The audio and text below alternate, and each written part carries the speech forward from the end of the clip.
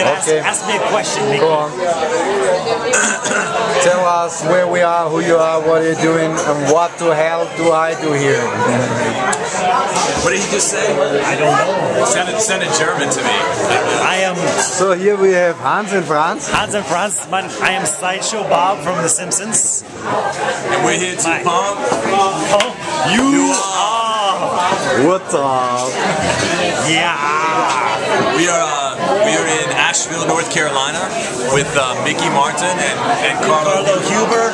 with sour grapes and Sweet, sweet boys of sour grapes. What is sour grapes? Sweet grapes. sour grapes. Sweet grapes. And we're at uh, we're at Fig, which is Travis's restaurant in Asheville. Sour grapes. Hi Travis. Hello.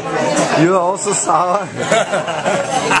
No, I just know a sour grapes. And we're, and we're having a good wine dinner put together uh, by Chef Bill Klein, and uh, we have some pretty some pretty good wines. Uh, Gerhard Lobner has some great wines tonight. Mickey Martin has some okay wines.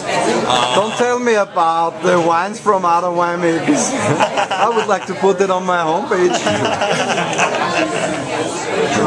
We're I shouldn't make advertising for others, yeah?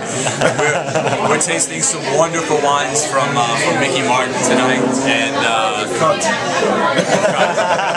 That's all we have to say.